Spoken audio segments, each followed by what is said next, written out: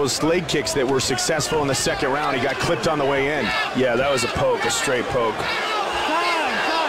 Poke. Can you see? What? What? He said he can't see. He said he can Oh my God. He told me he can't What is see. going on here?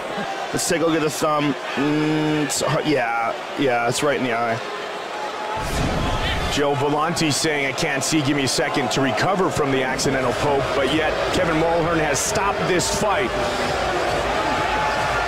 He's, he's got an advantage with his height and length.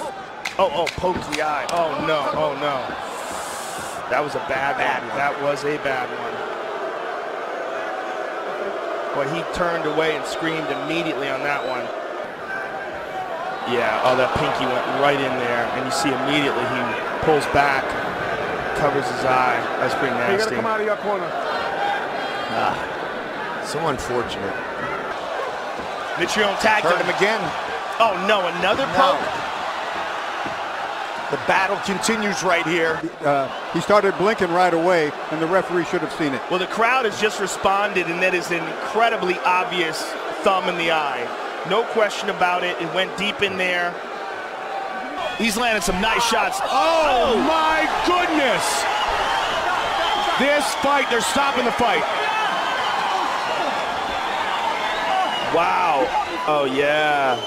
You know, Mazzagatti was warning him about it, and that's exactly what he did. Well, he warned him about it over and over again, so what do you do in this situation? Well, you got to take a point away or Absolutely. disqualify him. You have to. Exactly. Anthony Johnson is in a lot of pain. You see him react to it. It looked before as if that uppercut landed hard, but it did not. It's the poke Oh. entirely. If you see the uppercut, the uppercut misses. It grazes him. He's reacting to that poke in the eye, and it was not the first poke in the eye. He had poked him several times before. Oh no! Oh man! Oh, Bad eye poke. Oh man! And you're talking. That's a guy who has had detached retina surgery. Was on his right eye. or two of these instances. We've had two in this one one card. It's dumb. It's dumb to continue and pretend that things are going to change. This is out his eyebrow. Is that a, another injury that's bleeding? That is nasty. Oh man, his eye